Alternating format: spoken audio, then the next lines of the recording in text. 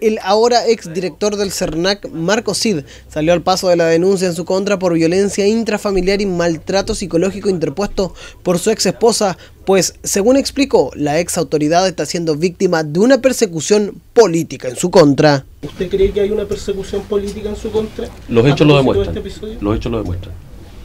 ¿De qué sectores en particular?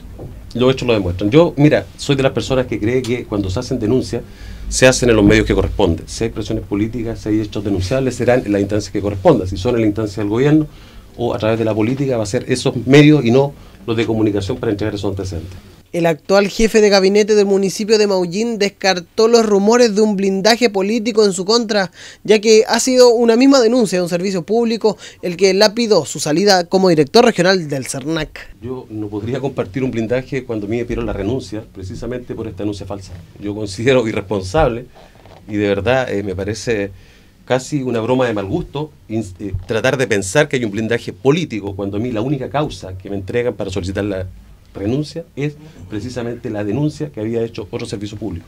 ¿Por lo tanto, lo descarto completamente. ¿Y usted Además, en la conferencia de prensa, Marco Cid estuvo acompañado del presidente regional de la DC, Cosut Vázquez, y el abogado penalista Andrés Firmani.